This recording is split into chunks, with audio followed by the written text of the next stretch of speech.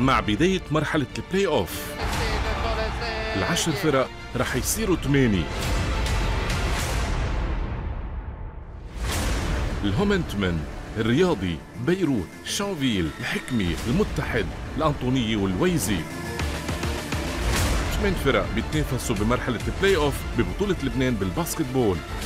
الخميس 5 الشهر مباشرة على LB2